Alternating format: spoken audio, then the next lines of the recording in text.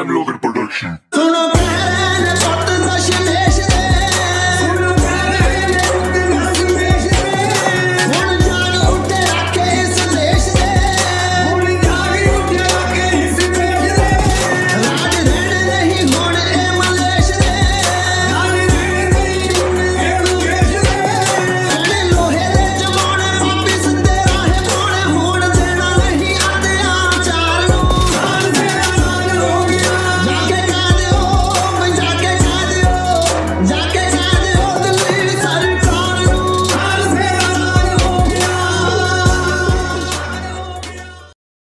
ਬੰਦਾ ਸਿੰਘ ਬਹਾਦਰ ਨੇ 1710 ਵਿੱਚ ਸਿੱਖ ਗਣਰਾਜ ਸਥਾਪਿਤ ਕੀਤਾ।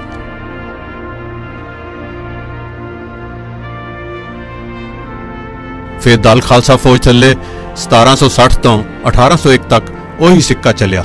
ਤੀਜੀ ਵੇਰ ਸਭ ਤੋਂ ਵੱਧ ਧਰਮ ਨਿਰਪੱਖ ਅਤੇ ਲੰਮੇ ਸਮੇਂ ਮਹਾਰਾਜਾ ਰਣਜੀਤ ਸਿੰਘ ਅਤੇ ਉਸ ਦੇ ਵਾਰਸਾਂ ਦੀ ਸਰਕਾਰੇ ਖਾਲਸਾ ਵਿੱਚ ਵੀ 1849 ਤੱਕ ਉਹੀ ਨਾਨਕ ਸ਼ਾਹੀ ਸਿੱਕਾ ਚੱਲਦਾ ਰਿਹਾ।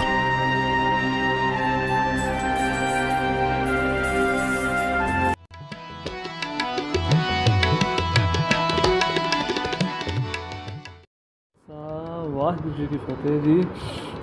ਪਿਆਰੇ ਦਰਸ਼ਨ ਸੁਣਨ ਵਾਲਿਆਂ ਨੂੰ ਬੇਨਤੀ ਇਹ ਹੈ ਵੀ ਦਾਸ ਵੱਲੋਂ ਗੁਰਪਿੰਦਰ ਸਿੰਘ ਅ, ਇੱਕ ਇਹ ਅ, YouTube ਬਲੌਗ ਸ਼ੁਰੂ ਕੀਤਾ ਜਾ ਰਿਹਾ ਹੈ ਜਿਹਦੇ ਵਿੱਚ ਅਸੀਂ ਫਾਰਸੀ ਜਿਹੜੀ ਕਿ ਪੰਜਾਬੀਆਂ ਦੀ ਜਾਂ ਇਦਾਂ ਕਹਿ ਦਈਏ ਸਿੱਖਾਂ ਦੀ ਰਾਜਸੀ ਖਾ- ਰਾਜਸੀ ਭਾਸ਼ਾ ਰਹਿ ਚੁੱਕੀ ਹੈ ਜਿਹੜੀ ਖਾਲਸਾ ਰਾਜ ਮਹਾਰਾਜਾ ਰਣਜੀਤ ਸਿੰਘ ਦੇ ਅ, ਵੇਲੇ ਤੋਂ ਰਹੀ ਹੈ। ਉਸ ਤੋਂ ਬਾਵਜੂਦ ਬਾਅਦ ਵੀ ਅੰਗਰੇਜ਼ਾਂ ਦੇ ਰਾਜ ਤੱਕ ਇਹ ਕਾਫੀ ਅ, ਉੱਨਤ ਚੜ੍ਹਦੀ ਕਲਾ ਚੱਲਦੀ ਰਹੀ ਹੈ, ਲੇਕਿਨ 1947 ਤੋਂ ਬਾਅਦ ਇਹ ਦਿਨੋ ਦਿਨ ਘਟਦੀ ਜਾ ਰਹੀ ਹੈ।